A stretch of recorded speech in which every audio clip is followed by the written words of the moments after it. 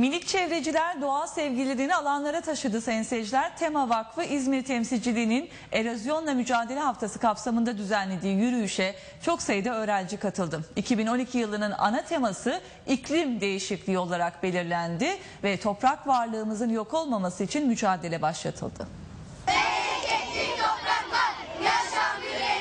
Bu yılki ana teması iklim değişikliği olarak belirlenen erozyonla mücadele haftası etkinliğine çocukların ilgisi oldukça yoğundu. Çevremizi ağaçlandırmak için görevliyim. Doğayı korumak istiyoruz. Onlara minik tema veya yavru tema deniyor.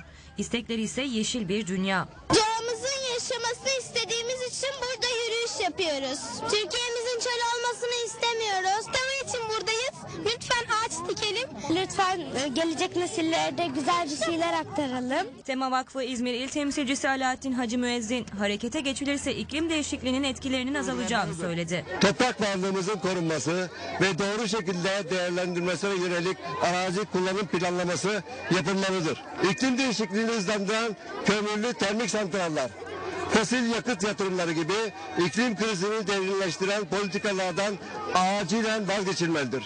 Hacı Müezzin konuşmasında yakın zamanda yapılan çevre katliamlarına dikkat çekti. Yapılacak her türlü büyük ölçekli yatırım ve planlar Turgutlu Çaldağ, Görcez, Efem Çukuru, Bergama Kozak, Kaz Dağları iklim değişikliğine uyumu gözeterek gözden geçirilmeli. Doğaya geri dönülemez, zarar vermesi engellenmelidir. Cumhuriyet Meydanı'nda başlayan yürüyüş Gündoğdu Meydanı'nda sona erdi.